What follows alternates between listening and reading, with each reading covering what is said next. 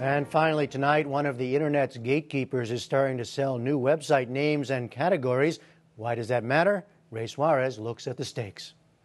Since the earliest days of the internet, Americans have gone to web addresses with familiar names to the right of the dot, as in .com or .org.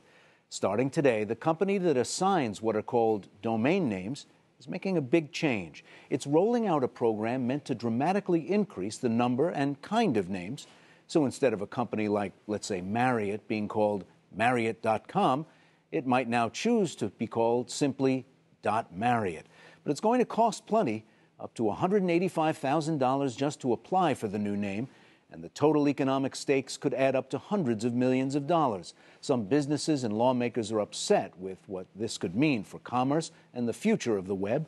We look at this now with Rod Beckstrom, the president and CEO of ICANN, the Internet Corporation for Assigned Names and Numbers, and Dan Jaffe is with the Association of National Advertisers, which is part of a coalition opposed to the rollout of the program. Now, Mr. Beckstrom, uh, inside the trade press, it's all full of just the shorthand GTLD. What is a generic top line domain? So we know what we're talking about. Sure. It's the name that's to the right of the dot on the internet. And so it's sort of the top in the hierarchy in the domain name system. So think .com, .net, .org as examples that many people know. In the short history of the web, people have gotten very used to using it and are familiar with the suffixes .gov, .edu, .com, .org.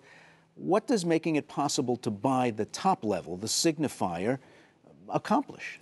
Well, we open it up because, for example, you mentioned .gov. That's only usable by one government, the United States government, here. And other governments don't have those same choices. They'd like to. The internet's now used by 2 billion people around the world, and everyone would like to enjoy equal access.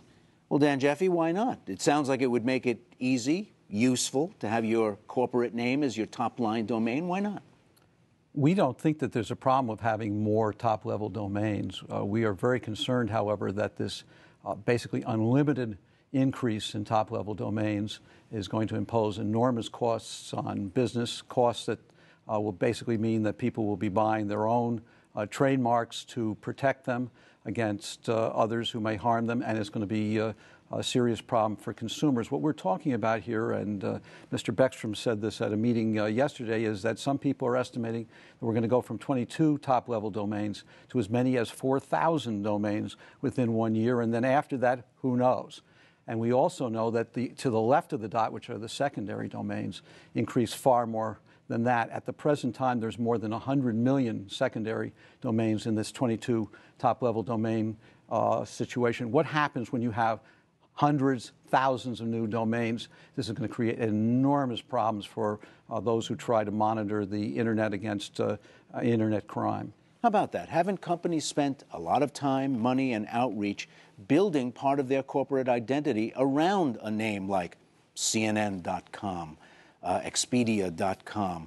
Doesn't this force them to have to rebrand when they don't really want to. Nobody has to rebrand. This is entirely offering more choices, and I want to correct the record here. There's not 4,000 a year. There's a board resolution where the maximum number is 1,000 per year that can be added to the internet. And and there's many companies that are interested. If you read the Wall Street Journal article yesterday, you'll see many entrepreneurs that are looking at starting new businesses and offering new services uh, with new ideas with new top-level domains.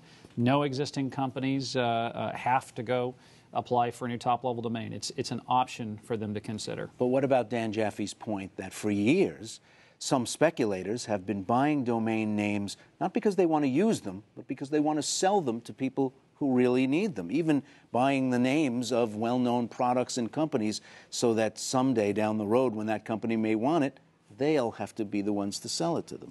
The smartest intellectual property attorneys in the world have been wrestling over this program for six years and have added nine different components to provide protections for trademark holders so that that kind of activity is discouraged to the greatest extent possible. And Dan Jaffe, doesn't that $185,000 price tag discourage squatters where you could have bought a, a, dona- a domain name pretty cheaply once upon a time? That's pretty high table stakes for somebody who wants to buy it on spec.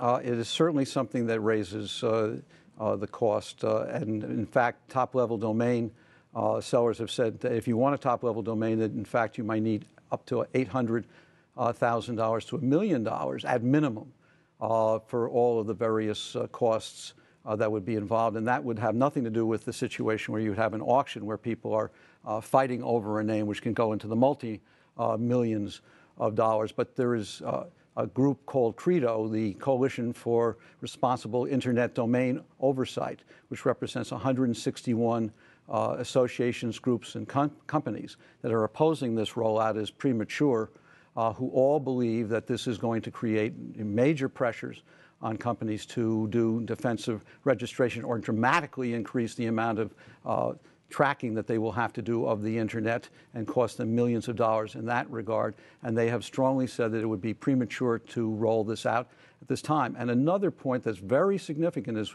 there are substantial holes in the system uh, that have been pointed out by the Federal Trade Commission, uh, by other uh, police organizations around the world, by the interagency uh, organizations like. What kind of holes do you mean? Just so we know what very, we're talking very serious situations where if you start, one of the protections that's been built into the system, or alleged protections that's been built into the system, is something called a thicker WHOIS uh, approach, which would give you more information, supposedly, about who actually owns an IP address, an internet uh, address.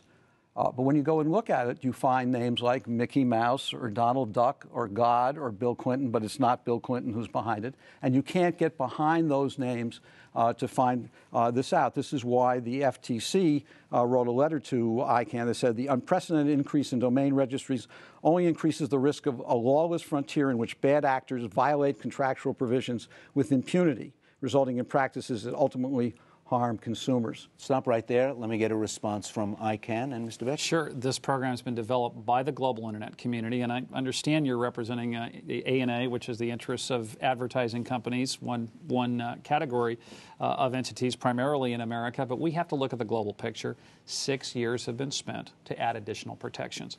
For example, you can't apply for a top level domain that would be a typo squatting domain. We would never approve it. You have to demonstrate you, what you're going to use it for and explain your use. So actually, it could help reduce typo squatting at the. What about the notion that uh, the WHOIS part? is still pretty porous, that you could buy a Bill Clinton domain and not be Bill Clinton. You know, we can bring to this table law enforcement, which I have tremendous respect for. I've worked for law enforcement myself in the federal government, and bring in the privacy groups and civil rights and civil liberties, and they're not going to agree on how WHOIS should be implemented. One group wants privacy, another group wants more law enforcement accuracy. The ICANN community brings together all of these parties to develop consensus views, consensus uh, documents. And in fact, we just had open public comment period on how we can improve some of our agreements related to uh, WHOIS, and we're in negotiations right now. And these things are processes that are ongoing, and uh, there are improvements in this program that the previous programs didn't have. Quickly before we go, I want to hear from both of you. This is a world that so far, up until today, has been managed with a minimum of government interference from governments around the world. Exactly Can it continue right. to be so, Mr. Jaffe? We think that that is the right approach. We do not believe you. that. You're welcome. uh, we, we are one of the strongest supporters for self regulation where it works, where in fact the uh, real consider, concerns are met. But we're finding, you know, the UN, uh, NATO, the WHO, uh, IGO groups, of 38 uh, of these groups, uh, the not-for-profits, the FTC, the whole of the business community of you know that is very concerned about this and said that there are serious holes. You wouldn't ask someone to come on a ship and be able to say there are holes in that ship. And by the way, it should cost you millions of dollars to buy your way on to get that ticket and then say sail out. We think that this is very, very reckless. And what? Right. There are no easy holes that could be fixed in this program. That's why it took six years of many of the smartest people in the world haggling over paragraphs and details. The rule book is 300 pages of documentation. Very well thought out program. In fact, one of your attorneys uh, uh, yesterday said, Well, why don't you go in a room for 10 minutes and solve this? And I said, If you think you can solve that in 10 minutes, I invite you, please come to our next public meeting in Costa Rica. Sit down with law enforcement, the civil society groups, government, come up with a solution. The reality is, these are tough problems because, and here's why. The internet is, there's one internet for one world. The system has integrity. The trademark system is divided into categories and geographies. Any trademark term you take, there could be hundreds or even thousands of legitimate different owners in the world. In the domain name system, every name is exactly unique so that the emails, when they're sent to you, get just to you and not to five other people, because that would fracture the internet. ICANN has to maintain that integrity. Rod Beckstrom, Dan Jaffe, gentlemen, thank you both. Thank you so much.